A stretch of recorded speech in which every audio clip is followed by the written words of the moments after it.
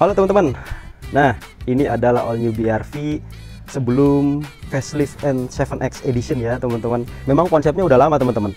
Jadi sebelum N7X uh, keluar itu yang chrome-chrome di all new BRV ini mau memang mau saya rubah jadi black piano atau black chrome. Nah, ini hasilnya nih. Ini pakai teknik yang uh, orang nggak nggak bakalan kepikiran ini tapi hasilnya luar biasa loh bagus rapih dan sesuai dengan ekspektasi yang saya mau. Jadi mirip kayak N7X Edition ya. Ya bisa dibilang e, merubah BRV 2022 atau yang sebelum N7X Edition menjadi N7X Edition. Nah coba kita e, lihat satu persatu detailnya ya teman-teman. Ini keren sih detailnya. Yuk. Nah pertama yang dirubah itu adalah grillnya. Ini lihat ini grillnya ya tadinya kan ini warnanya chrome nih sebelum seperti ini jadi uh, uh, eh, BRV generasi ini ini warnanya chrome teman-teman. Ini dijadikan black chrome. Keren tuh. Jadi sampai logo Hondanya pun berubah jadinya chrome jadi black chrome. Ini keren sih pakai stiker loh. Nah yuk kita lihat nih detail-detailnya uh, rapi banget pengerjaannya teman-teman. Siap kemudian di bagian bawah ya nah kemudian di bagian ini nih teman-teman nih. Ini yang tadinya kan warnanya silver nih. Ini jadi uh, black glossy. Ini juga rapih banget. Rapih banget. Nah lihat pengerjaannya keren. Ini kalau teman-teman mau dirubah menjadi seperti ini bisa. Nanti saya cantumin deh kontaknya di deskripsi ya teman-teman. Sampai bawah loh. Dia bener-bener stikernya tuh sampai bawah. Jadi di bagian depan itu grill atas sama spoiler depan bawah itu. Body kit bawah yang tadinya silver jadi uh, black glossy. Kemudian di velgnya tentunya biar agak menyamakan N7X Edition ya. Tapi memang ini dari dulu memang saya pengen seperti ini sih. Nah ini velgnya teman-teman nih. Ini juga stiker loh. Nah mungkin uh, orang baru pertama ngeliat kok jadi berubah jadi kayak gini? Diapain ya? Ini ternyata di stikerin. Lihat. Ini detailnya uh, rapi banget. Tuh. Bener-bener cutting stiker bagus banget rapi banget. Kalau dalam perjalanan itu kan panas. Ini saya sudah pakai hampir satu bulan dia kuat. Jadi nggak ngelotok. E, pakai hair dryer dia masangnya ya. Jadi dipotong-potong e, jadi jadi seperti ini. Ini bagus bagus banget sih dan pemasangannya walaupun detail-detail kecil ya teman-teman tapi nggak nggak sebentar. Ini butuh waktu seharian.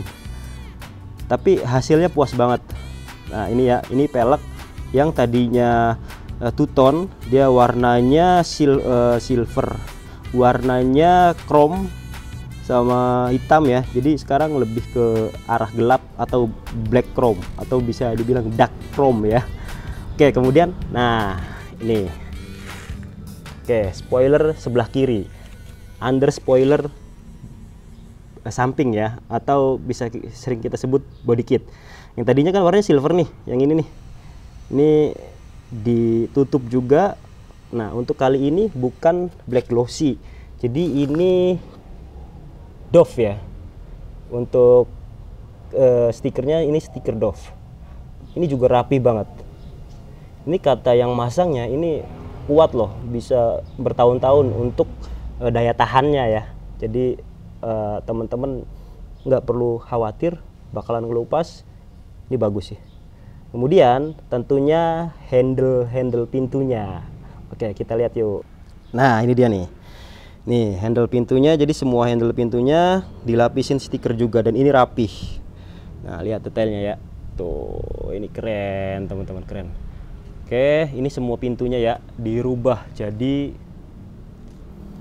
uh, black chrome. Ya. Jadi ke semua handlenya jadi keempat empatnya ini juga di stikerin. Lalu nah ini juga nih roof rail. Roof railnya ditutup juga Oke, jadi semua warna silver di mobil ini warna silver, warna chrome ditutup menggunakan stiker yang nuansanya lebih ke hitam, jadi lebih sporty ya. Oke, ini ini Dove kalau ini Dove nih. Jadi kanan kiri ditutup juga teman-teman pakai uh, stiker Dove, hitam Dove. Nah, kemudian terakhir itu belakangnya. Yuk kita intip. Oke, ini dari bawah dulu ya. Dari bawah, jadi biar menyesuaikan nuansanya sama yang di depan, ini saya rubah bawah ini jadi black glossy. Nih, lihat detailnya. Ini mohon maaf karena pencahayaannya ini pagi hari, jadi mungkin agak backlight dikit. Nih, ini black glossy nih. Ini sampai bawah tuh. Tuh, sampai bawah stikernya. Sampai sini loh. Padahal nggak dicopot ini. Jadi dia stikerin total, totalitas memang ini orang. Kita lanjut setelah ini uh, spoiler bawah ya atau body kit belakang.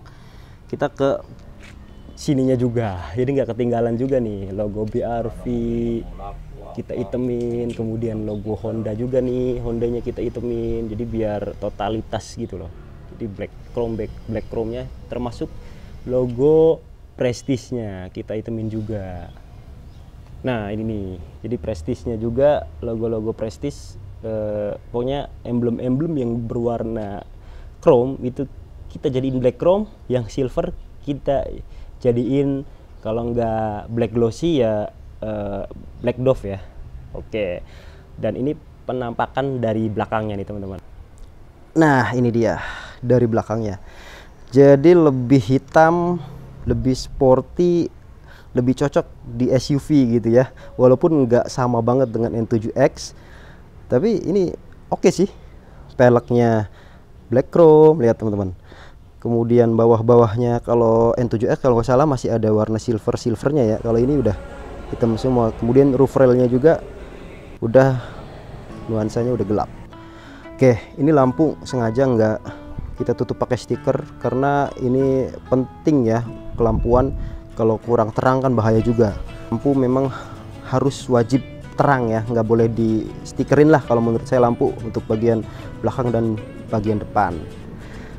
Ya teman-teman mau stikerin dengan gaya yang saya punya atau teman-teman mau stikerin mobil apa pun dengan eh, kemauan atau style teman-teman masing-masing itu bisa. Bahkan stiker yang saya pakai ini dia bisa uh, full body ya. Jadi full body itu mau full body Dove mau full body ornamen atau uh, paint protection film atau PPF itu coating ya. Itu salah satu jenis coating juga bisa. Jadi paint protect, protection film. Itu harganya beda-beda macem-macem. Nah kalau kayak gini ini harganya nanti teman-teman tanya aja ya. Saya cantumkan nomornya dari deskripsi ya. Untuk uh, konsultasi stiker-stiker uh, mobil khususnya. Motor juga bisa sih Oh iya, saya hampir lupa. Ini rekomendasi dari Koivan ya, owner dari Tira Auto. Ini keren, memang selera beliau tinggi, cakep. Thank you Koivan. Uh, nanti untuk uh, pemasangannya saya taruh di akhir video ya, proses pemasangan dari stiker yang ada di All New BRV ini oke itu aja mungkin teman-teman terima kasih ya semoga bermanfaat semoga jadi inspirasi. Kalau nggak bermanfaat skip aja. Terima kasih